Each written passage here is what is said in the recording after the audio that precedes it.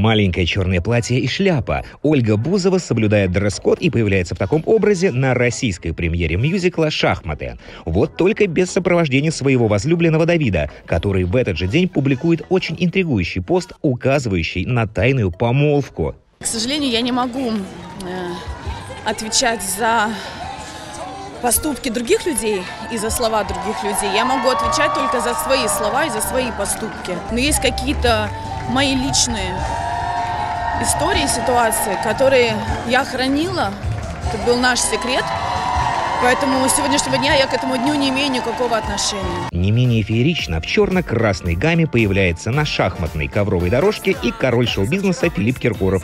И пока он готовит для всех очередную премьеру совместно с продюсером мюзикла Дмитрием Богачевым, дети Киркорова начинают свои творческие карьеры. До последнего времени никаких признаков не подавали, но что-то Алла Виктория захотела в непоседы. И, а Мартин Виралаш. Посмотрим. Актерский состав мюзикла формировался на протяжении двух лет.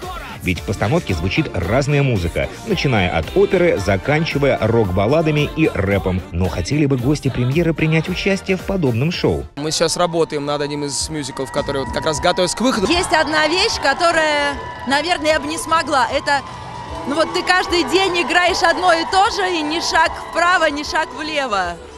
Э, Я более свободолюбива. Я пять лет отыграл в музыкальном театре, поэтому ролей у меня очень большое множество.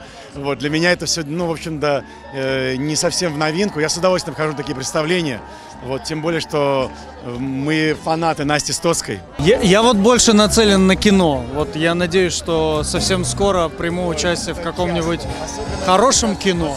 35 музыкальных номеров, 50 тонн сложных декораций и оборудования, 500 сценических костюмов, а музыка «Шахмат» уникальна в жанре мюзикла. Но во сколько обошлась российская премьера мирового уровня? больше чем 200 миллионов рублей. И это при том, что э, довольно значительную часть мы делали э, внутренними ресурсами, не тратя денег. То есть если бы мы по-честному, наверное, э, покупали все и заказывали, э, оплачивали, то было бы, наверное, все 300. Финал постановки вас приятно удивит и заставит дорисовывать самостоятельно судьбу главных героев.